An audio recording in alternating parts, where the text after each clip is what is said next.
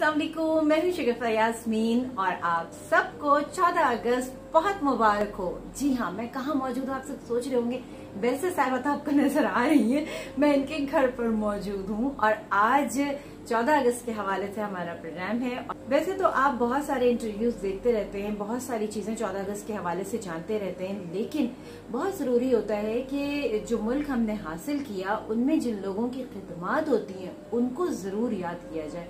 क्योंकि वो कौम कहते हैं कि खत्म हो जाती है जो कि अपनी हिस्ट्री को नहीं जानती। बात करेंगे वैसे साहिबा से लेकिन अगर आप मेरे चैनल पर नए तो सबसे पहले मेरे चैनल को सब्सक्राइब कीजिए।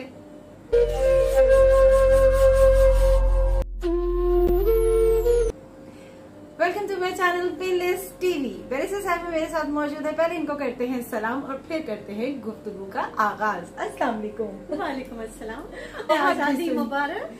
आपको भी बहुत मुबारक हो योम आज़ादी। और बैरिस्टर साहबा के हवाले से एक बात मैं कह दूँ क्योंकि मैं बहुत जमाने से इनको जानती हूँ। स्वीट नेचर की हैं। मुझे बहुत क्यूट लगती है। और साथ साथ मैं आपको एक बात बताऊँ कि अगर आ, कहते ना कि कंप्लीट पाकिस्तानी तो आप बैरिस्टर साहबा को देख सकते हैं। जब जब मेरी मुलाकात हुई यहाँ पर फ्लैग इनके हमेशा लगा रहा सिर्फ़ चौदह अगस्त को नहीं लगता। और इनके अपने ड्राइंग रूम में भी फ्लैग मौजूद है, जो कि अभी आपको सेंटर में नज़र भी आ रहा है। अच्छा चौदह अगस्त मैंने कहा कि भाई बैसे साहिबा से बेहतरीन शख्सियत तो नहीं जिनसे बात की जाए, क्योंकि आपकी अपनी खिदमत और फिर आपके आबा अजदाद की खिदमत, पाकिस्तान के हवाले से बेतहाशा। तो हम चाहेंगे कि आज जो है ना, वो सिर्फ़ आगे ही ले और आपके आबा अजदाद की खिदमत और आपकी खिदमत के हवाले असल में इस पाकिस्तान की तहरीक में बल्कि अठारह सौ सत्तावन से अगर शुरू कीजिए तो सोरवती खानदान बाकायदा बंगाल का बहुत नुमाया मुसलमान खानदान था। बाज तो नवाब थे नवाब ढाका और नवाब थे बंगाल के सिराजुद्दौला उनकी खानदान और सब। ये एक बहुत ताकतवर बहुत मुस्बत मुस्लिम लीडरशिप थी जिसको जलील किया। कुछ शाखें जो थी वो तो सिर्फ़ तबलीग में हम्म। शामिल हो गई। और उनके बहुत से औलाद जो है फिर वकालत में आए। अच्छा। मुगलई जमाने में वकालत में थे। वकील कहला कहलाते थे। तो हमारे सौरवती खानदान वकालत में और शरिया में बहुत ज़्यादा महारत थी क्योंकि वो अदालत में जाते थे मुगलई अदालत में। तो जब अंग्रेज़ आ गए तो फिर उन्होंने अंग्रेज़ी कानून सीख के बहुत सारे जो थे अपनी शुरू कर दी प्रैक्टिस अंग्रेज़ी अदालतों में। तो वो एडवांटेज जो मिलता है तो फिर उसमें सियासत भी आ गई। और उसमें फिर सौरवती ख़ानदान के जो बड़े थे, sir Abdullah Suhrawardy sir sir Mamun Suhrawardy ये जितने थे लोग ने फिर बंगाल की सियासत में हिस्सा लेना शुरू किया। क्योंकि बंगाल में मुसलमान बहुत बड़े तादाद में थे। तो वो लीडरान थे, फिर उसके साथ वो उनकी जब शुरू हो गई जमहूरी निज़ाम तो उसके अंदर बंगाल लेजिस्लेटिव काउंसिल में आए। नाना ने इलेक्शन में बाकायदा जब वापस आए बरतानिया से तो नौजवान थे तो उनको वो भी दाखिल हो गए। उनको फिर जब वो तहरीक चल रही थी खिलाफत मूवमेंट तो नाना फिर हुसैन शहीद सोनवती सेक्रेटरी खिलाफत कमेटी कलकत्ता के, वो बने। तो पूरी खिलाफत मूवमेंट को कलकत्ते के अंदर बंगाल के अंदर उसको ऑर्गेनाइज करना बहुत बड़ा एक काम था। और मुसलमान तो उस वक्त खिलाफत के लिए काफ़ी मुतहरक थे। उसके बाद जब खिलाफत का मामला ही ख़त्म हो गया और तुर्की बाकायदा कायम हो गई। तो उसके बाद खिलाफत के बाद वो ख़त्म हुई, फिर शुरू हो गया। उन्होंने मुस्लिम इंडिपेंडेंट पार्टी बनाई कि मुसलमानों को जमा रखें, कि हमें आवाज़ उठानी। सुल्तान आल खान थे, बाकायदा बड़े बड़े नामवर लोग थे तो इन सब की ग्रुप होती थी। तो ये जाके अंग्रेज़ों से मुसलमानों के हकूक़ के बारे में, उनके उनके नौकरियों के हालत, उनकी, उनके साथ जो फसादात हुए हैं, उनके साथ किस तरीके से हल करना और जो नुकसान हो गया है बहुत से गाँवों के अंदर, शहरों के अंदर, बस्तियों के अंदर जब जलाते, जलाया गया और मारा गया सब तो उन सब के बारे में वहाँ पे इश्यूज़ उठाई जाती थी। तो उसके साथ दबाव हुई कि मुस्लिम लीग बने। सही। तो फिर सौरवती ख़ानदान में ये था कि सर ज़ाहिर सौरवती मेरे नाना के जो वाले थे, वो थे सीनियर प्यूनी जज कलकत्ता हाई कोर्ट के। चीफ जस्टिस जो होता था हाई कोर्ट का, वो होता था उस जमाने में अंग्रेज़। 1893 की बात करें, अंग्रेज़ होते नाइन्टीज तो उसके उसके बाद रिवाज हुआ कि हाँ आप नेटिव इंडियन को आप ला सकते हैं। तो इनको सिर्फ़ वो ले आए जजशिप तक जो सीनियर मोस्ट होता है, उसको सीनियर फ्यूनी जज कहते हैं। तो वो थे। तो लिहाजा वो डायरेक्टली शामिल नहीं हो सके। तो मेरे नाना के बड़े भाई प्रोफेसर शाहिद सोहरवर्दी वो आके बाकायदा सोहरदी ख़ानदान और अब्दुल्ला सोहरदी सब आके फिर ये मुस्लिम लीग बनी 1906 में। हम्म। और वहाँ से हमारी तहरीक शुरू होती। सही। बड़े पैमाने में। तो मुस्लिम इंडिपेंडेंट पार्टी फिर भी थी। मुस्लिम लीग भी बनी मगर मुस्लिम लीग को रखा गया समझिए कि बहुत ही ज़्यादा इनकलाबी नहीं थी। धीरे धीरे चल रही थी क्योंकि हमें बहुत मारा गया था। बहुत नुकसान हुए। वक्त लगा सबको उठाने में। लोग डरे हुए थे उस जमाने में। ये कानून पास किया था अंग्रेज़ों ने कि हम कोई सियासी इज्तम कर नहीं सकते। अगर हमें करना है तो किसी तालीम की वजह से तो मुस्लिम एजुकेशनल कॉन्फ्रेंस खड़ी हुई या हम किसी सकाफती अंदाज में। तो दो चीज़ें सकाफती में मुशायरे हम्म। और मीलाद। ना तो सवाल ही पैदा नहीं था फौरी तौर पे आके पकड़ा खूनी दरवाजे पे ले गया और उड़ा दिया। ये सिलसिला होता था। इस वजह से मोहतात होके चले। ये पाबंदियाँ किसी और के लिए नहीं थी ये सिर्फ़ मुसलमानों के लिए। गद्दार का फ़ौरन उनके ऊपर इल्ज़ाम डालना ये जब सौरवी फैमिली फिर आई सियासत में और उसके बाद जब मुस्लिम इंडिपेंडेंट पार्टी नाना के दोस्त थे मिर्ज़ा अहमद इस्पाहानी इस्पाहानी फैमिली। हम्म। इस्पाहानी वो सबसे बड़े थे और इस्पाहानी फैमिली के दोस्त थे और वो कायद अजम से भी दोस्ती थी। तो उन्होंने बाकायदा दोनों को मिलाया। कि कायद अजम मिले आए जब बंगाल मिर्ज़ा अहमद साहब के पास तो फिर हमारे नाना उनके पास आए सलाम करने के लिए और दोनों को बात की और वहाँ से मुस्लिम इंडिपेंडेंट पार्टी जम हो गई मुस्लिम लीग। और फिर उसके बाद सियासत चली मुस्लिम लीग की। और क्योंकि मुस्लिम इंडिपेंडेंट पार्टी हर जगह उसके छोटे छोटे शाख थे हम्म। तो ये आसान हो गया जिसको हम कहते जो कायद अजम ने कहा चार आने की मेंबरशिप चाहिए मुझे। वो बड़े बड़े जो है वो हैं। उन्होंने बहुत किरदार अदा किया। बहुत पैसे दे रहे हैं। उसमें बिजनेसमैन हमारे सर आदम जी इस्पाहानी बहुत सारे हमारे हबीब फैमिली ये सारे हमारे उनको कहते थे चांदी के गोलियाँ। अच्छा। सिल्वर बुलेट्स और दूसरी तरफ़ अपने नवाब उनके वजीफे दीज ऑल सिल्वर बुलेट्स मगर साथ साथ आपको चाहिए था जो आम आदमी सड़कों पे है। तो वो चार आने की मेंबरशिप की ड्राइव में नाना ने बहुत काम किया। और उसी जगह जगह फैली और पूरे बाकी इलाकों ने भी बहुत काम किया और जगह हमारी मुस्लिम लीग फैली। और वही मुस्लिम लीग की लहर जो दौड़ती है तो दौड़ते दौड़ते, फिर उसके बाद जब इलेक्शंस हुए हैं उन्नीस में तो उस इलेक्शंस में मुश्किल से, क्योंकि नई पार्टी उभर रही थी हमने सीट्स तो ली मुस्लिम सीट्स मगर उसमें हमें कोलिशन करना पड़ा मौलवी फजल हक को बाकायदा हम चीफ मिनिस्टर बने मगर उनके बाद ज़रा कुछ वो हट गए अनबन हो गई। फिर मुस्लिम लीग उन्नीस सौ छियालीस के इलेक्शन में पूरे अंदाज में भरपूर अंदाज में हमने सारी मुस्लिम सीट्स जो थी सब उसमें जितने ये मजहबी पार्टीज़ थी इन्होंने मुकाबला किया आ, उन्होंने इंडियन नेशनल कांग्रेस का साथ दिया खड़े किए अपने मुसलमानों को हमने उनकी जमानतें जब्त करवा दी।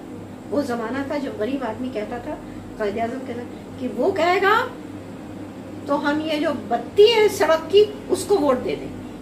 अच्छा। ये ये तरीका था उसका। इतना भरोसा कायद आज़म का कायद आज़म की शख्सियत पे कोई दाग नहीं लगा सकता। दुश्मन मानते थे उसको। हाँ, तो लिहाजा एक हमें भरोसा था अपनी क्यादत पे। और वो भरोसे वाली क्यादत जो उभरी है उस वक्त उसके पीछे मुसलमान ने हिंद आके खड़े हो गए। जब वो आगे आई फिर जब वो बाकायदा इलेक्शन हो गई तो फिर नाना बने प्रेमियर बंगाल उस जमाने में प्रेमियर कहते थे वो premier of Bengal chief minister हैसियत थोड़ी छोटी होती प्रेमियर ऑफ़ बंगाल बड़ी। बंगाल पूरे बर सगीर का सबसे बड़ा सूबा था। जैसे आज पंजाब है पाकिस्तान में हम्म। वैसे बंगाल होता था। तो वहाँ पे वो मरकज था सियासत का। वहाँ पे कांग्रेस अपनी ताकत लड़ा रही वहाँ पे हिंदू महासभा ता, ताकत लड़ा रही सभी लड़ा लड़ा रहे थे। उसे लीग ने भी लड़ाया और हमने जीता।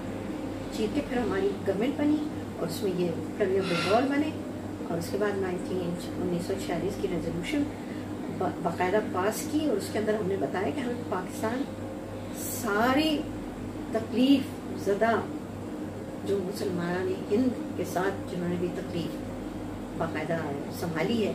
उसमें हमने कास्ट सिस्टम की बात की, हमने चीज़ों की बात की हीलॉट्स की बात की, हमने कहा कि ये सब पाकिस्तान में हम इनको तहफ़ दें पाकिस्तान में ये फलेंगे पाकिस्तान में फलेंगे क्यों? क्यों हम रहमत की बाकायदा हमें हिदायत मिली है हमारे रसूल से।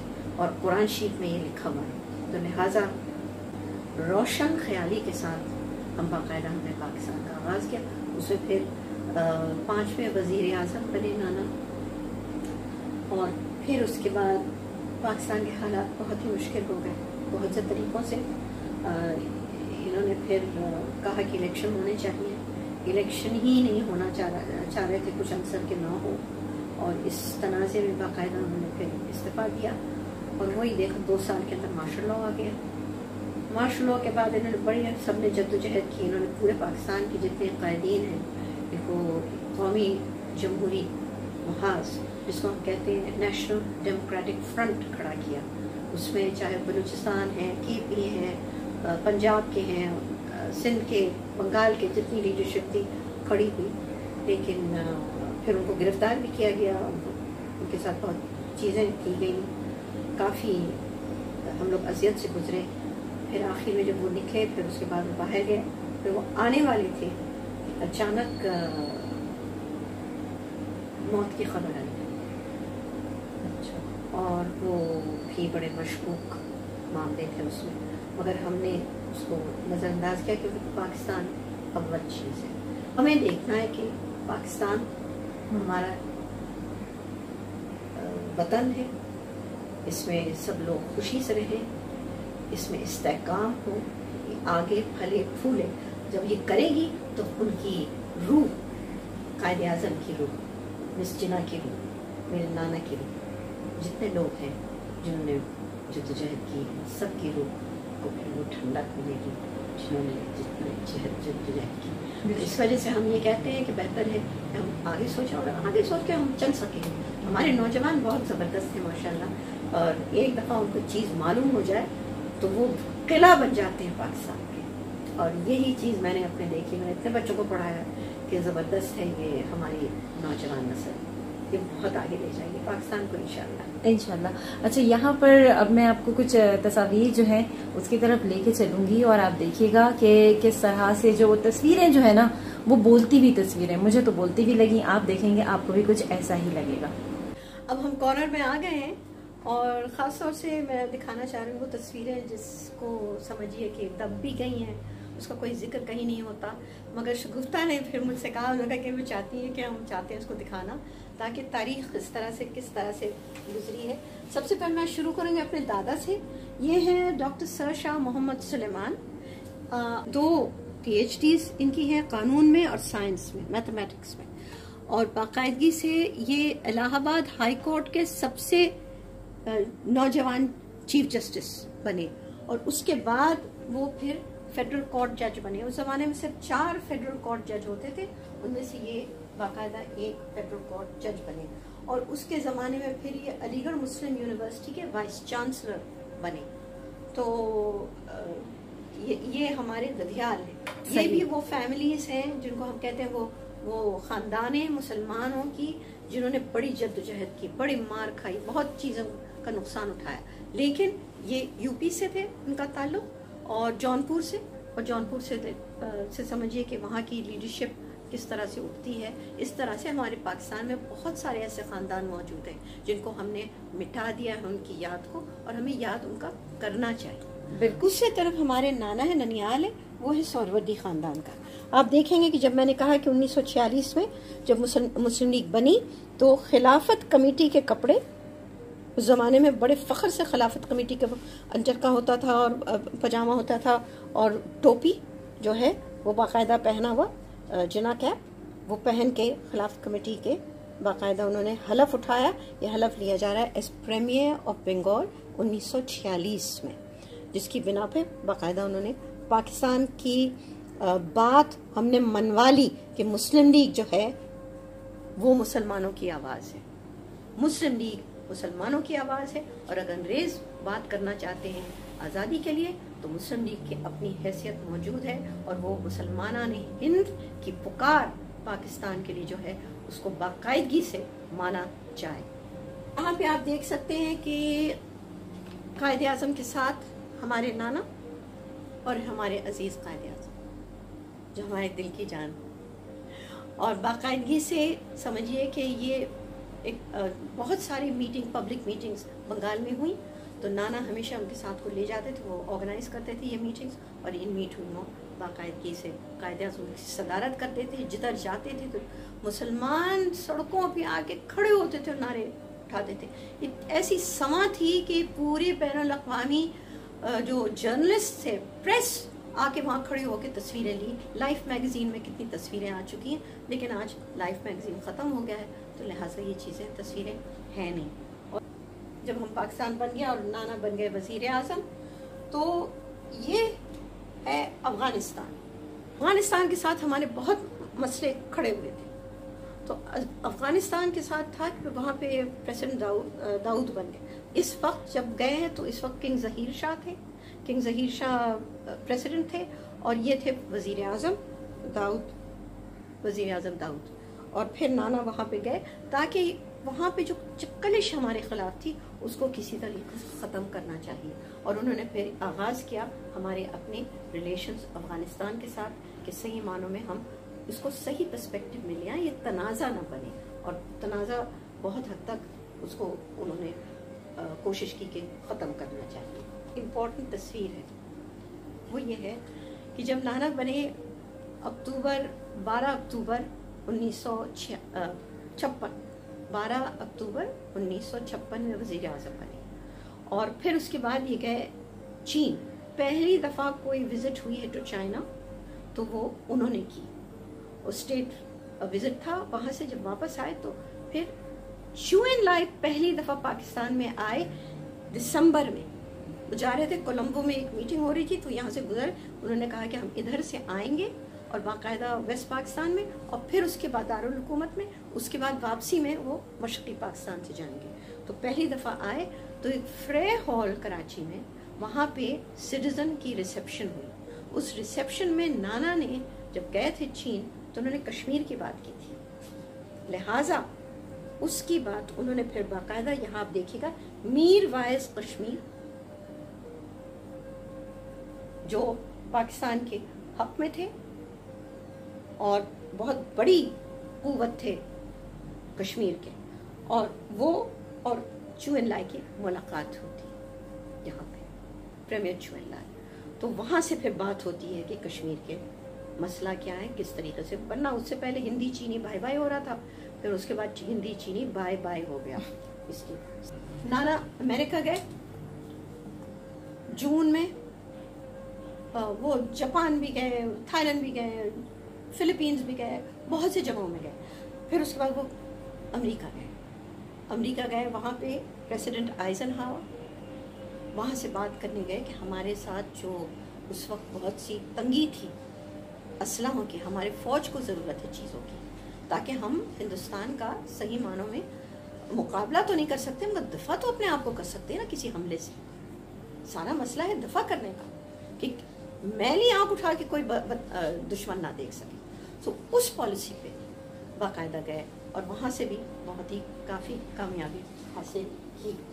चुएन लाई कोलंबो से श्रीलंका से जब वापस जा रहे थे चीन तो वो फिर ढाका में वायदे के मुताबिक बाकायदा वो मशरक़ी पाकिस्तान में आते हैं। वहाँ नाना उनकी खैर मकदम करते हैं वो मशरक़ी पाकिस्तान का ठोर करते हैं। और इस तरह से चीन के साथ हमारी दोस्ती और पक्की हो जाती है। क्योंकि फिर चीन भी दिखाता है कि हाँ वो पाकिस्तान की इंटरेस्ट और चीन की इंटरेस्ट में बहुत ज़्यादा हमहंगी है। चुन लाई साहब ने बाकायदा नाना को।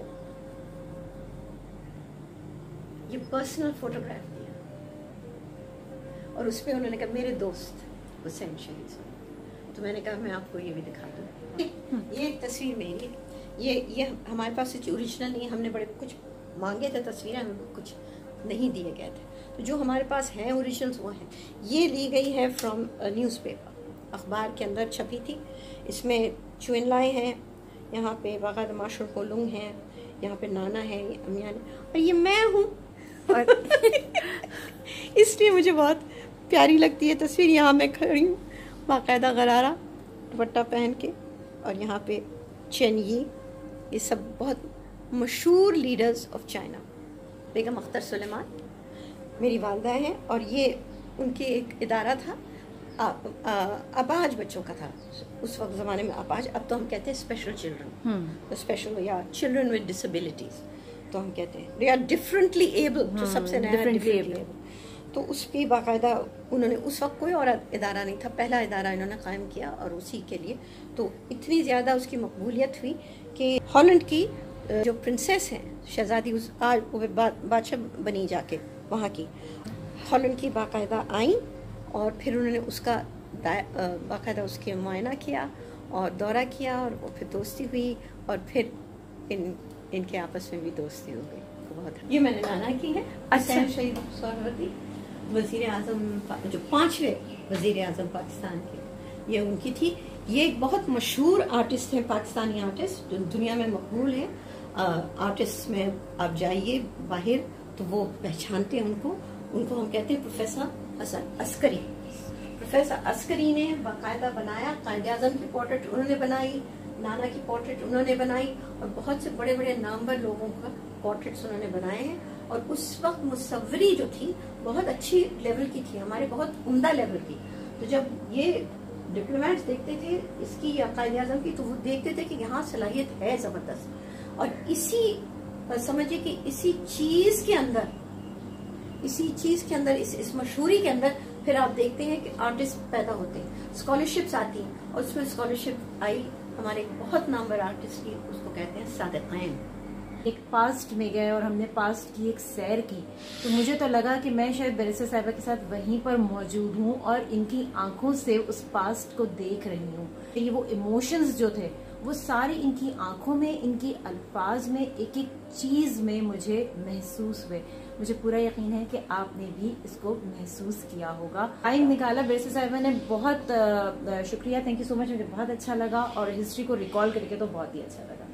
और इस वादे के साथ कि हम सब जो है अपने अपने जो हमारे अपने फ्राइज हैं पाकिस्तान के हवाले से एक अच्छे शहरी के हवाले से उसको पूरा करने की कोशिश करें और कहते रहें पाकिस्तान जिंदाबाद। जिंदाबाद।